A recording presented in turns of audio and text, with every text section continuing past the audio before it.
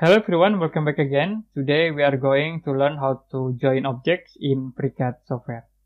Okay, first in here we can create new objects. You can click here, create new, and I will uh, choose part designs. You can click create body, create sketch, choose a top plane. In here I will create a rectangle object, start from this point. And now you can click close and use the pad tools to convert into 3D model. You can click OK. The next we can create a second object. I will uh, click create body and select up this face. The next we can create sketch. And now we can click uh, in here, make uh, depend copy. Click OK. And I will create a rectangle start from this point into here. The next you can use pad tools again to convert into 3D models. And I will set length into 20 and you can click OK.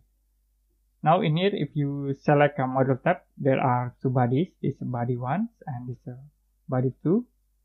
I will move uh, this body uh, two with a transform and we can move in blue axis to the bottom here. And if you want to fillet at uh, this edge, it this uh, can be fillet because the object not join each other. To join this object, we can use the boolean tools First, we need to select uh, the top body. You can click uh, this body, select, or you can toggle active body. And now you can click here to use uh, boolean operation. Click. The next add body, you can select uh, this body and you can click OK. So this body already joins with uh, boolean option in uh, this model option. You can click here, this uh, for boolean and will be join each other. Now you also can uh, select at this edge and then you can use uh, fillet tools to fillet this edge. You can click OK to apply.